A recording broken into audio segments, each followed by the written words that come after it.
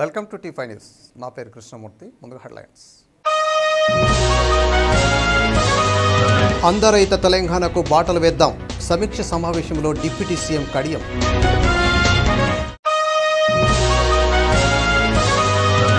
Bus దగ్ధం ఘటనపై విచారణ చేపడతాం. రాష్ట్ర రవాణా శాఖ మంత్రి మహేందర్ రెడ్డి.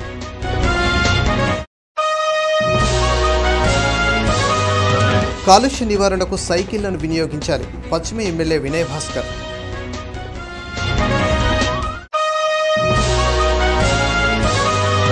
సిబ్బంది అప్రమత్తతతో తప్పిన పెను ప్రమాదం. RTC chairman Somarapu Satyanarayana.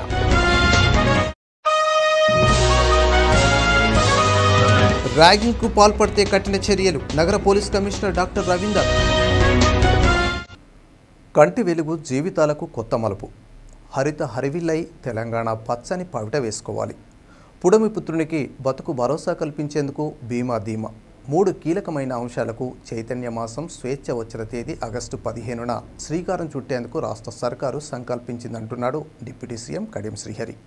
Telangana రాష్ట్ర ప్రభుత్వం ఆవిర్భవించి నాలుగేళ్ళు పూర్తి చేసుకుని ఐదో ఏడులోకి అడుగుపెట్టి నాలుగు మాసాలు కావస్తున్న నేపథ్యంలో పరిపాలనలో తనదైన ముద్ర వేసుకుని దేశంలోనే ప్రత్యేకతను సంచరించుకుంటూ ముందుకు సాగుతోంది. సంక్షేమ పథకాలు వాటి అమలు తీరును ఇతర రాష్ట్రాలు ఆదర్శంగా తీసుకున్నాయని తెలంగాణ రాష్ట్ర సమితి మంత్రులు నాయకులు చెప్పుకుంటున్నారు.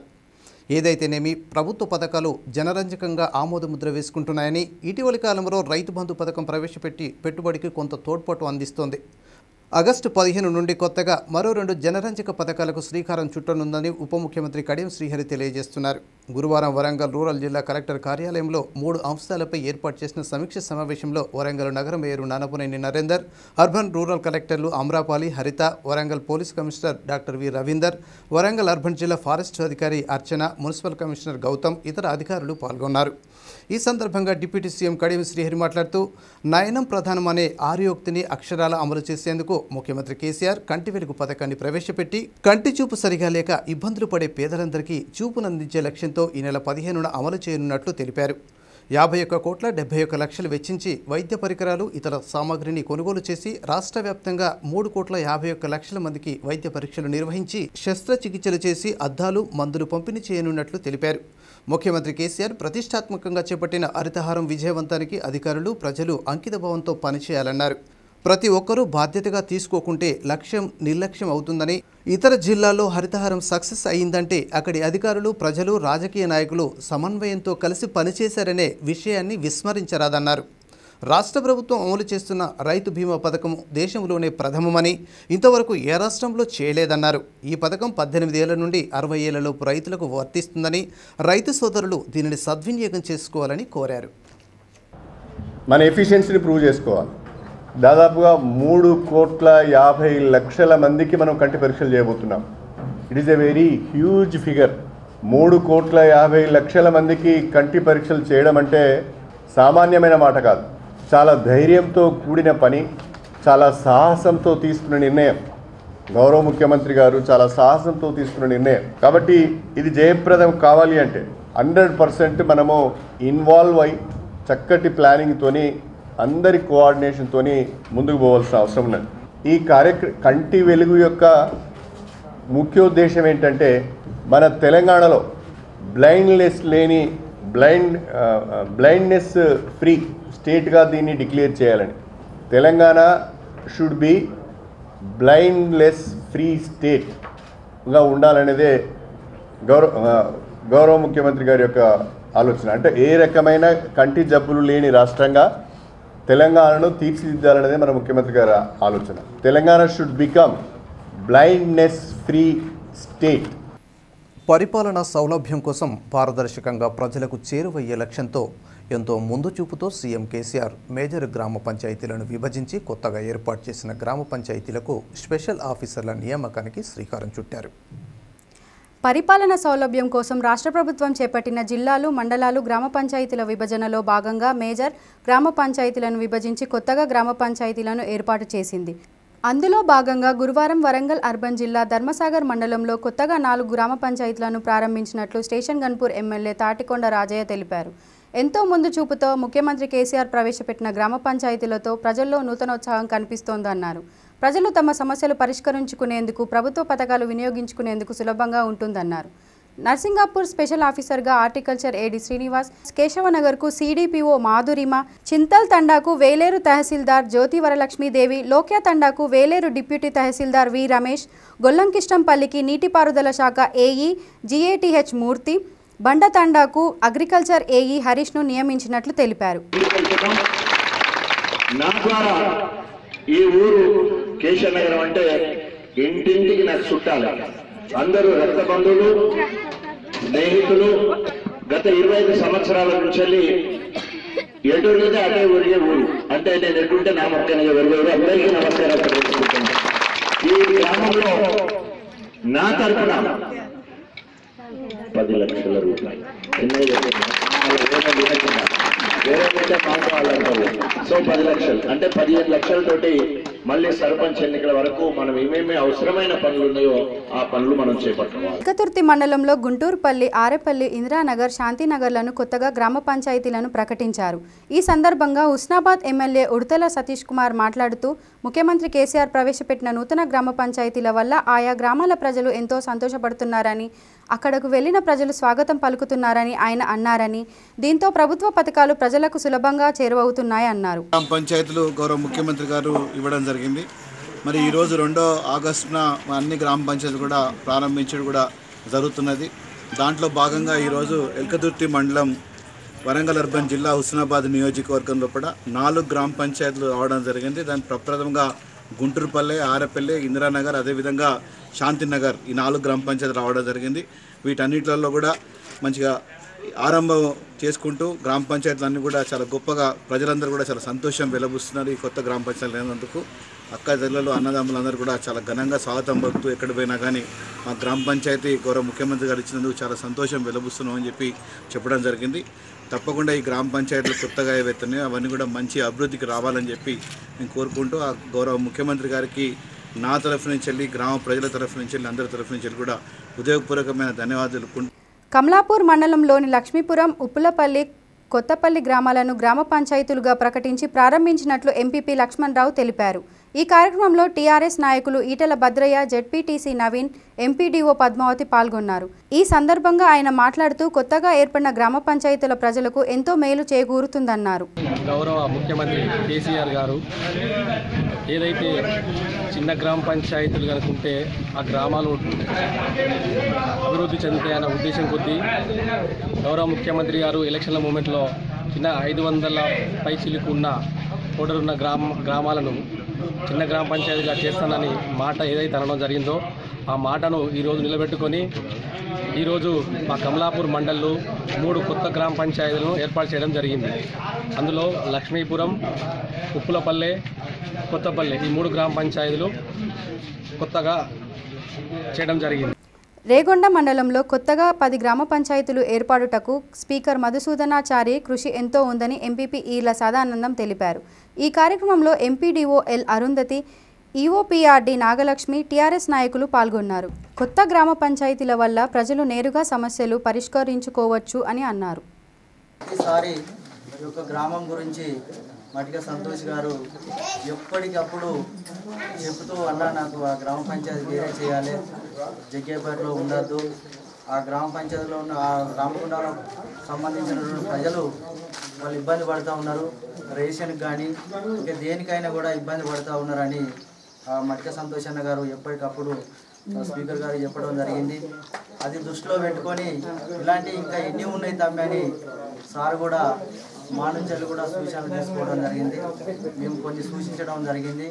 అందులో ఇవన్నీ గాంధీనగర్ అయితేనేమి వెంకటేశ్వరపల్లి అయితేనేమి సించుకాలని అయితేనేమి పది జీపీలు మనకు నూతనంగా గౌరవ స్పీకర్ గారు ఏర్పాటు ఏర్పాటు చేయడం జరిగింది. మేము అనుకోకుండా హైదరాబాద్ పోతే అక్కడ మమ్మల్ని అందరినీ కూర్చునిబెట్టి గౌరవ స్పీకర్ గారు తమ్మి మీరు ఓరింది రెండు మూడు గ్రామ పంచాయతీలే. నేను పది గ్రామ పంచాయతీలు చేసిన మీకు. మీరు ఎట్లా చేస్తారో ఆ గ్రామంలో పరిపాలన ఎట్లా చేస్తారో ప్రజలకు చెప్పి వాళ్ళని అందరి మోటివేట్ చేసి చెప్పాలి తమ్మనగానే మేము హఠా కొట్టినా. మళ్ళీ తెల్లవారుజామునే లేచి ఈ పది గ్రామ పంచాయతీలలో మేము మీటింగ్లు పెట్టి అందరి జనాలు చెప్పడం జరిగింది.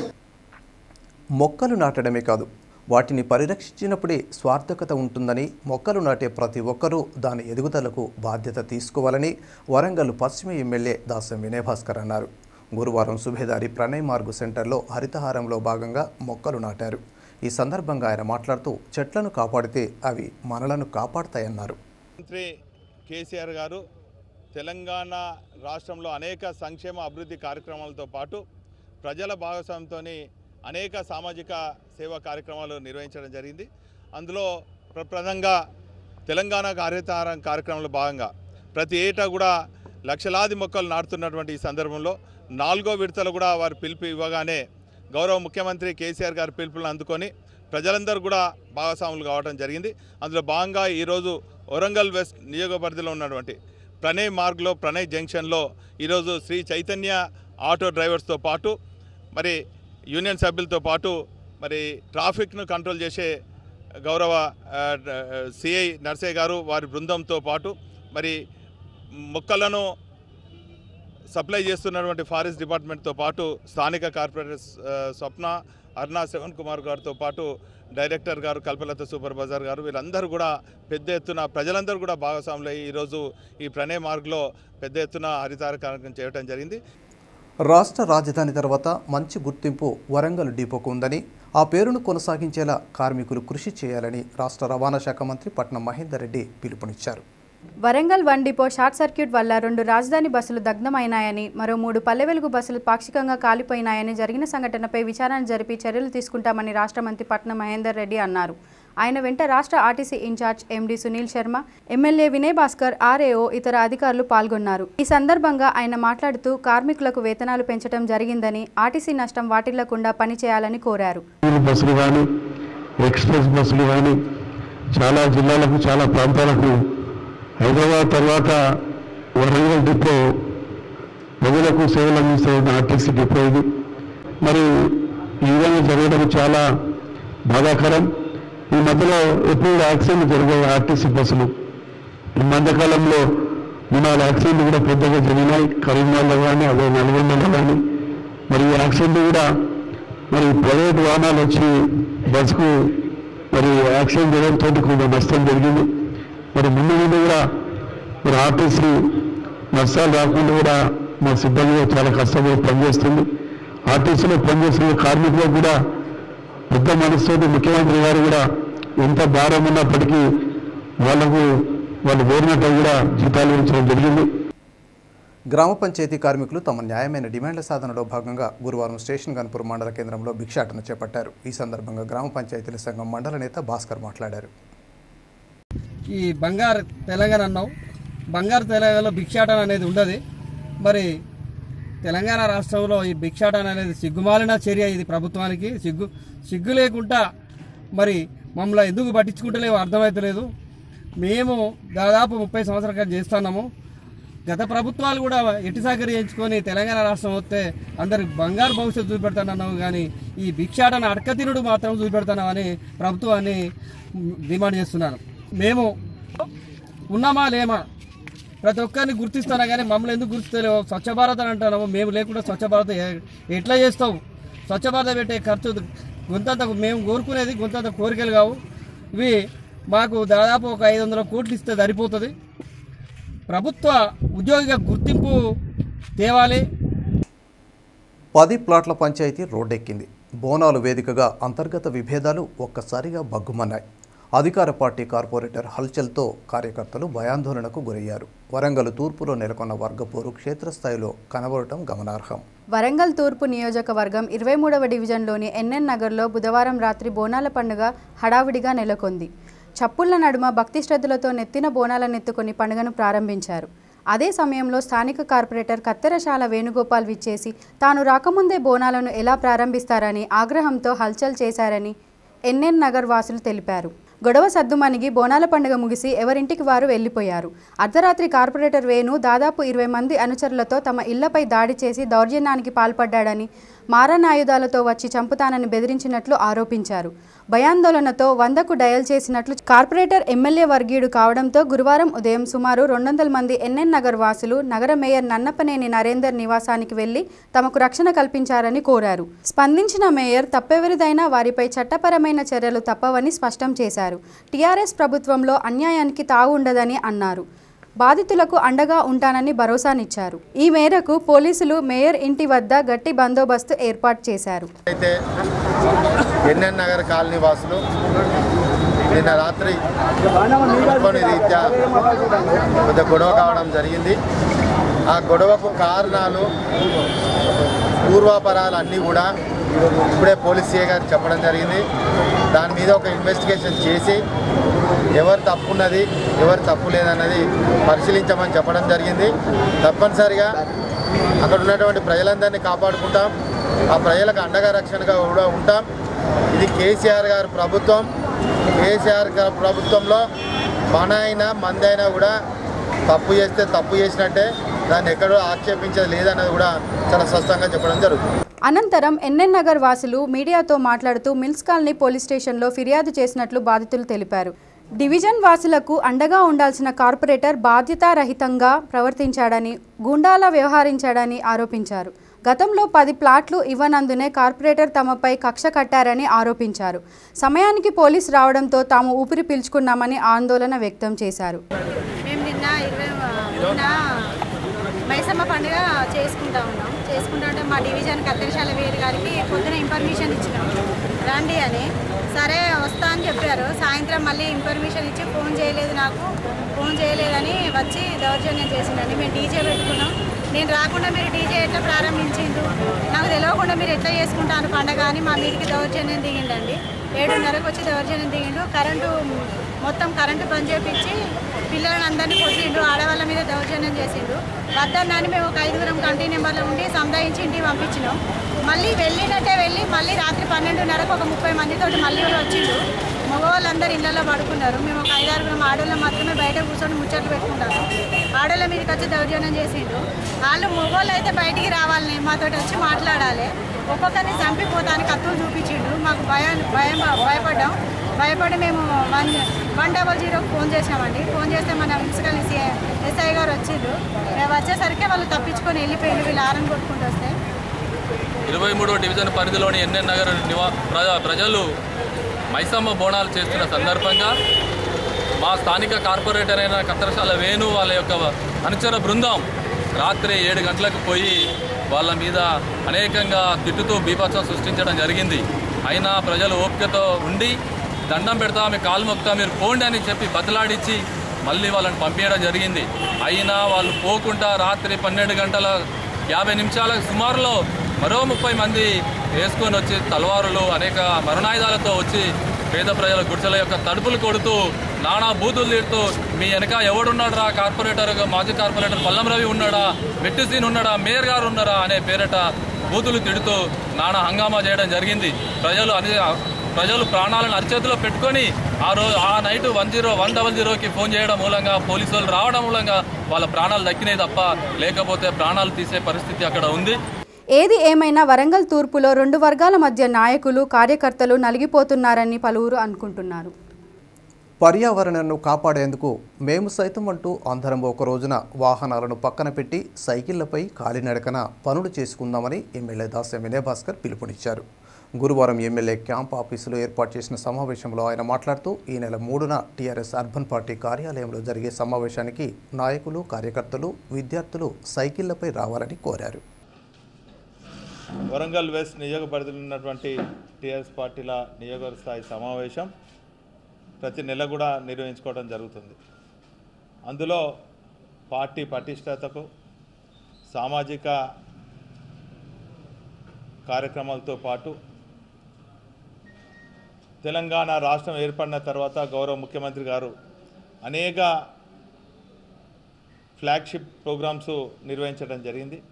ఒకవైపు సంక్షేమ కార్యక్రమాలతో పాటు మరోవైపు అభివృద్ధి కార్యక్రమాలతో పాటు ప్రకృతిని పరిరక్షించేదానికి తెలంగాణకు హరితార కార్యక్రమం అనేది ప్రతి ఏటా కూడా నిర్వహించడం జరుగుతుంది.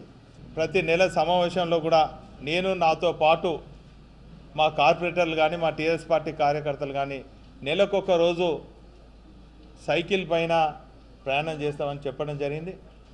అందులో భాగంగా మా కార్పొరేటర్లు కానీ మా అజీజ్ ఖాన్ గారు కానీ ఇవాళనే వాళ్ళు పది సైకిళ్ళు కూడా కొనుక్కోవడం జరుగుతుంది.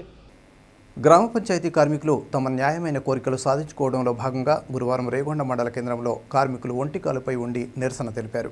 ఈ సందర్భంగా గ్రామ పంచాయతీల సంఘం మండల అధ్యక్షుడు వీరబ్రహ్మం మాట్లాడారు.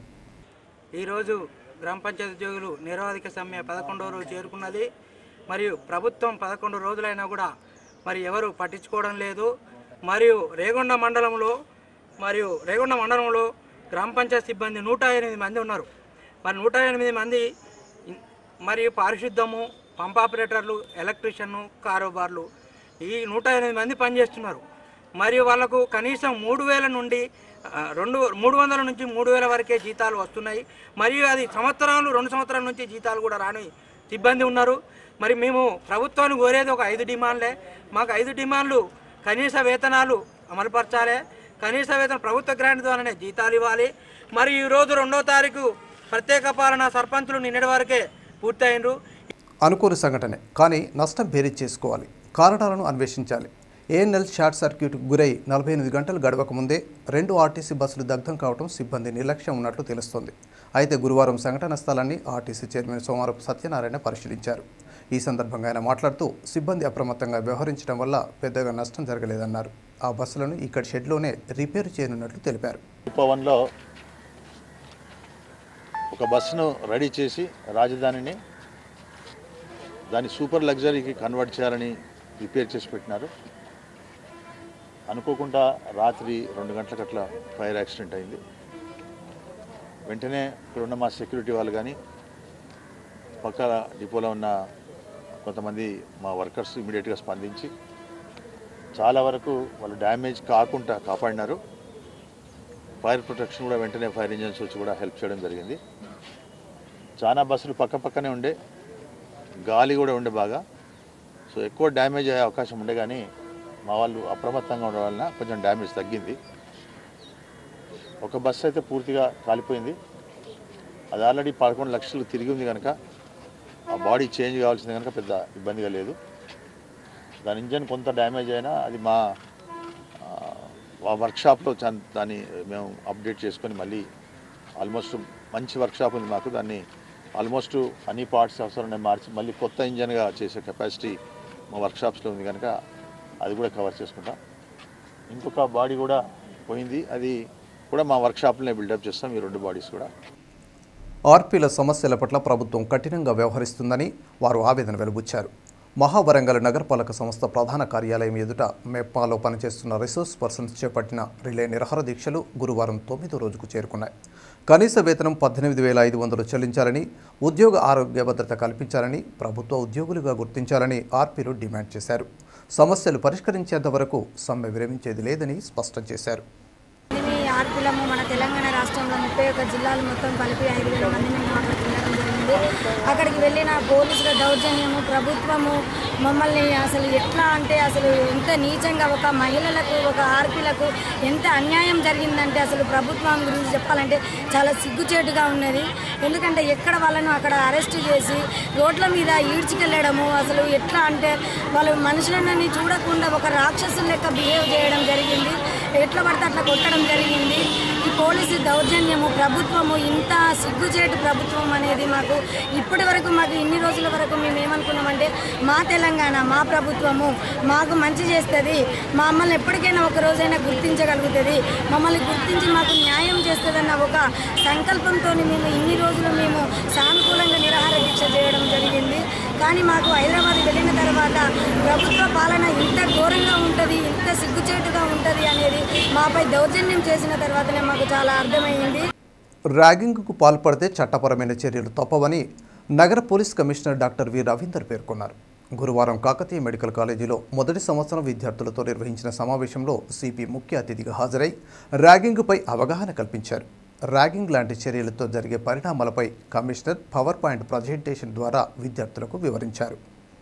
లేకపోతే ఒక రూమ్లో కన్ఫైన్ చేసిన ఒక రిస్ట్రైన్ చేసిన దానికి ఎంత పనిష్మెంట్? ఎంత? వెరీ గుడ్ సో రెండు సంవత్సరాలు ఏంటి? సో దెన్ నెక్స్ట్ ఇంకా గ్రీవెస్ ఏంటంటే causes grievous hurt to or kidnap or abducts Hasanparthy Ambedkar నగర్లోని సెంటినరీ ఇమ్మాన్యుయల్ బాపిస్ట్ చర్చి నూట తొమ్మిది వార్షికోత్సవ వేడుకలు ఇమ్మాన్యుయల్ పండుగను బుధవారం రాత్రి భక్తి శ్రద్ధలతో నిర్వహించారు. ఈ వేడుకలకు ఎమ్మెల్యే అరుడి రమేష్ ముఖ్య అతిథిగా హాజరయ్యారు. ఈ మేరకు ఆయన మాట్లాడుతూ చర్చి వార్షికోత్సవ వేడుకలలో పాల్గొనడం సంతోషంగా ఉందన్నారు.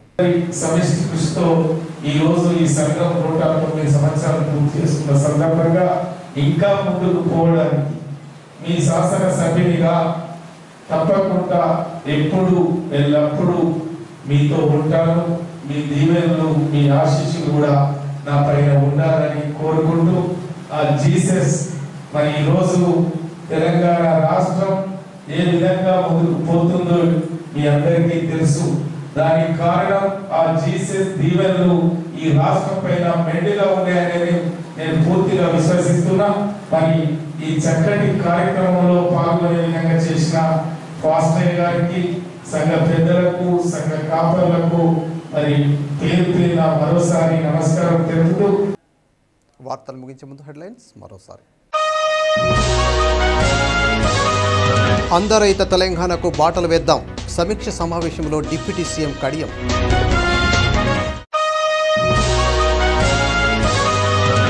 బస్సు దగ్ధం ఘటనపై విచారణ చేపడతాం. రాష్ట్ర రవాణా శాఖ మంత్రి మహేందర్ రెడ్డి.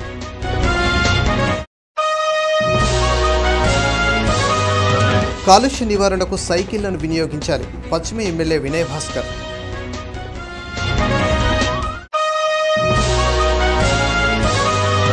సిబ్బంది అప్రమత్తతతో తప్పిన పెను ప్రమాదం. RTC chairman Somarapu Satyanarayana.